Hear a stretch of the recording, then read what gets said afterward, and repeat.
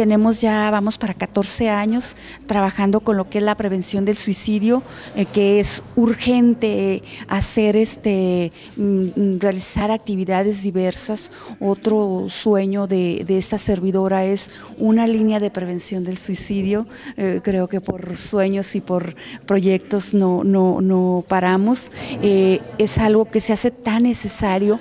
nosotros realizamos actividades en diferentes etapas del, del, año, o sea, prácticamente todo el año estamos trabajando con lo que es la prevención del suicidio porque ah, se ha dado últimamente que se utilizan las redes, las redes sociales para invitarse a, suicidarse. Y esto es muy serio. Eh, hemos seguido, por ejemplo, de una escuela, que no puedo decir el nombre, pero que ha habido inclusive cuatro suicidios de un grupo de amigos, que ha habido uno, ha invitado al otro y, este, y se han llegado a suicidar hasta cuatro alumnos de un grupo.